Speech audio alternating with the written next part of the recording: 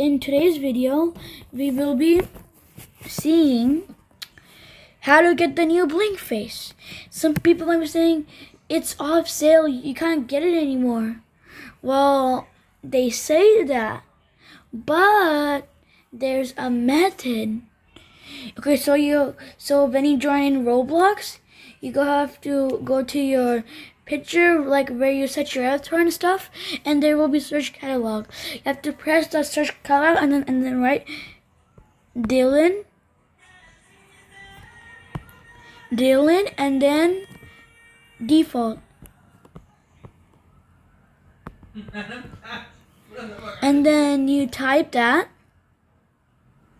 and then you'll see this wow it's free. So you guys can just get it on your avatar now. Yeah.